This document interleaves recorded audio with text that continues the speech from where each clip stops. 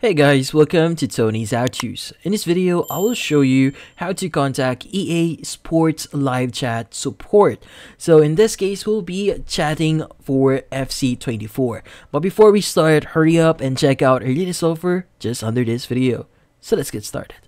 So first thing that we have to do here is we need to go to the official website for EA. So go to ea.com on any browser that you have on your PC.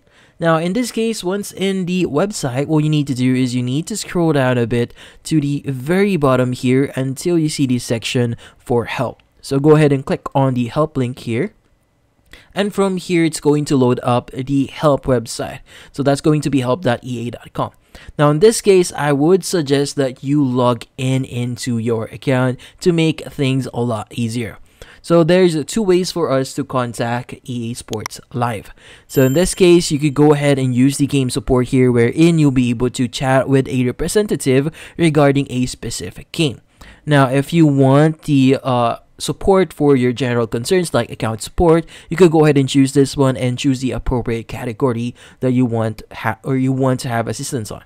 But in this case, since we want to want assistance on FC24, we want to scroll down a, a bit here until we see the e- uh, EA Sports FC24. So let's go ahead and click on it. Now in this case, it's going to give you uh, different options that you could choose. So I have a question, I want to learn and whatnot. But in this case, maybe in this example, we want to say I need help with a hack account. So go ahead and choose that option. Now it's going to load up the web page again and from here again it's going to ask you to log in but you could go ahead and continue without logging in but I would suggest you to log in into your account.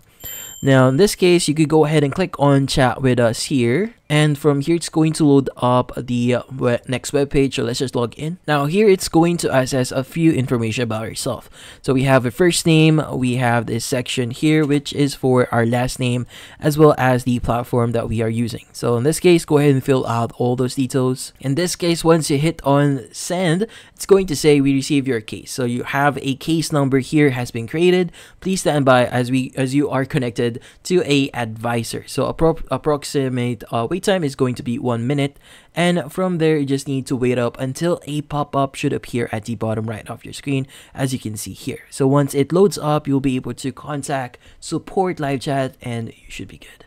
And that's about it. So thank you for watching. If you have any questions feel free to ask in the comment section. If you enjoyed this video and found it helpful you could use the link in the description to subscribe. See you in the next video